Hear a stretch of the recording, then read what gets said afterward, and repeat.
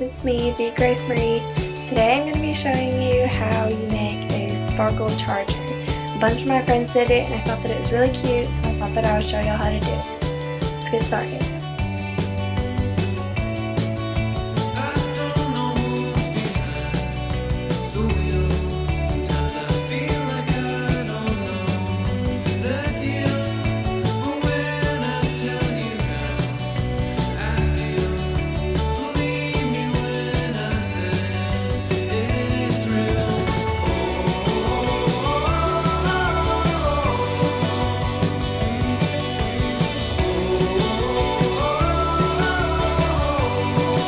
Okay, so by the end of it, you have cute little sparkly charger.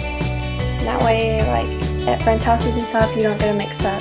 You do any color sparkles. I hope that you guys have fun with this and that your phone chargers are cute. Thanks.